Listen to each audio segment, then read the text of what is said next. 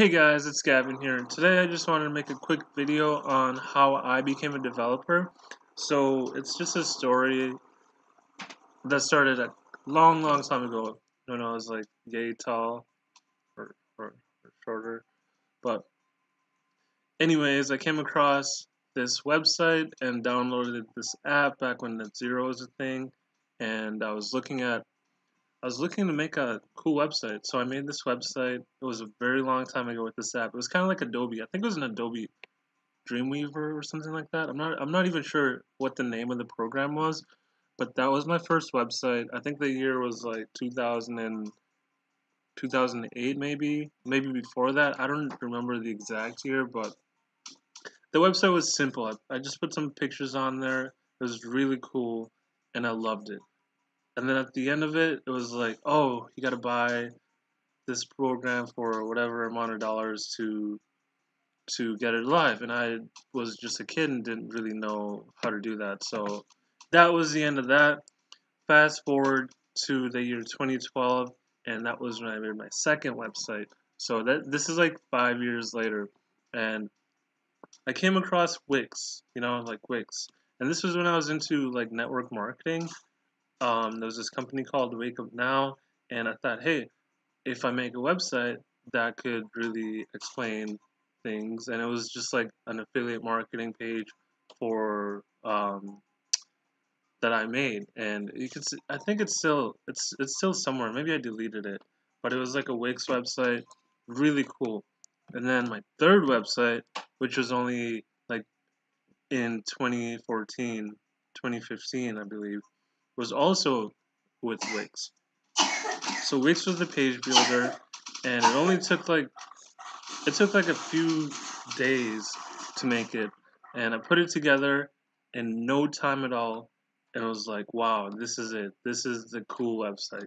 It had like the moving background and everything, and um, it had like the the e-commerce and blog and things like that. And I was really, really happy about it. So after I made that website, I was like, wow, this is this is great and all, but it's missing something. It was like the e-commerce that was missing.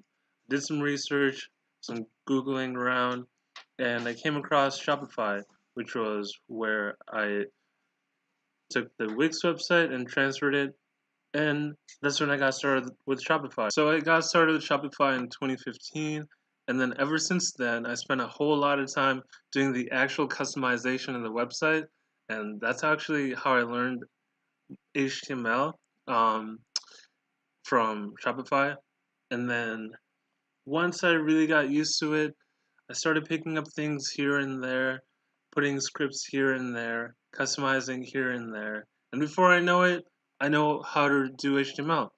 But it wasn't until more recently 2017 to be exact, that I started exploring other options with Shopify. I made like a two other websites with Shopify. It was like Drone Pigs, um, and uh, Duluth. It was like Duluth Shop or something like that. That was just a demo site. I wasn't on it. I didn't. I didn't go go for it like hundred percent like I should have, because because after the domain expired, somebody else got it. Whoops, whoops, whoopsie doo. Whoop.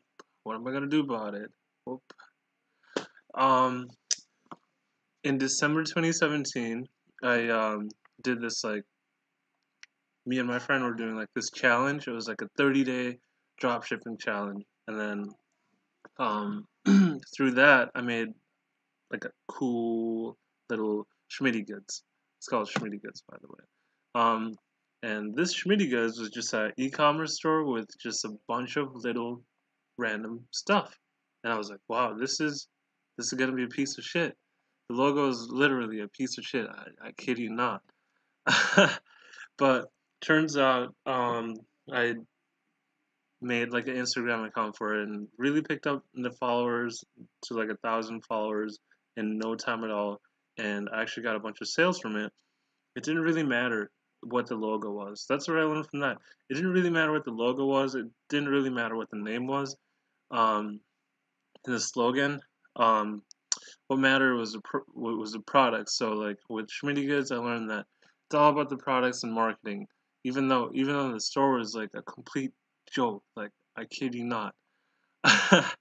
um, so moving fast forward after Schmitty Goods, my next project was some JavaScript, um, like JavaScript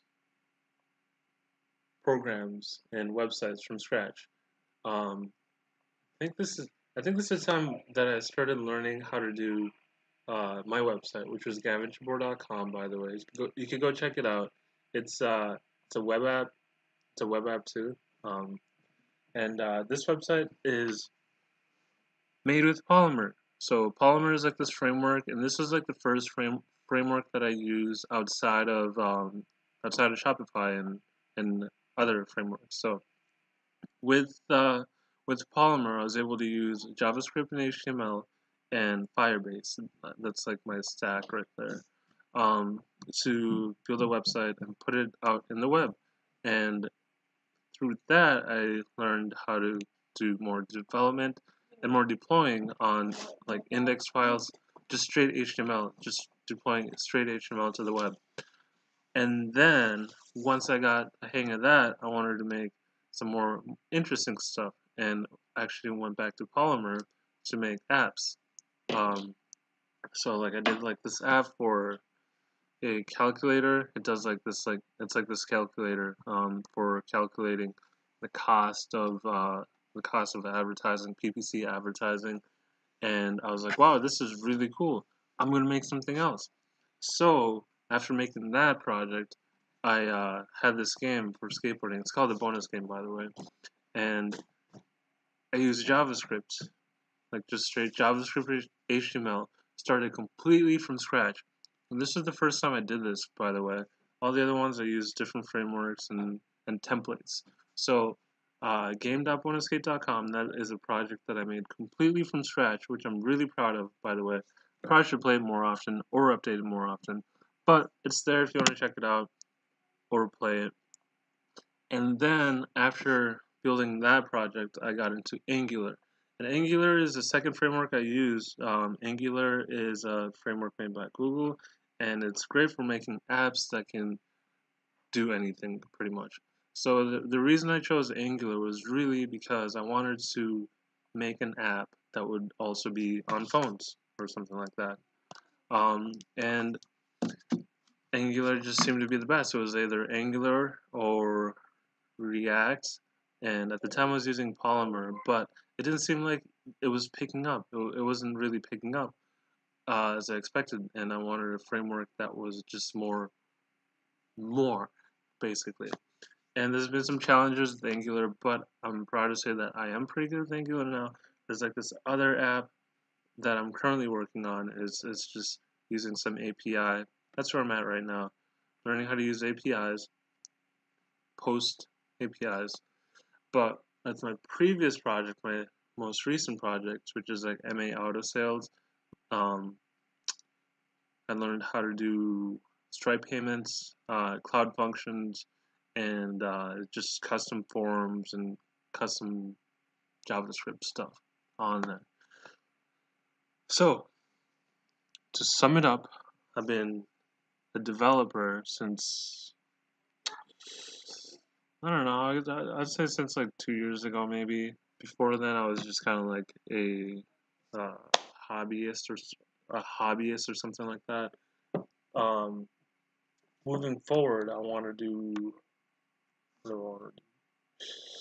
Hmm, I don't know. Things don't really always pan out the way you expect, so whatever I have another idea, I'll probably make a website for it. That's it for today, ladies and gentlemen. Thanks for watching, and you have a nice day. See ya. Peace.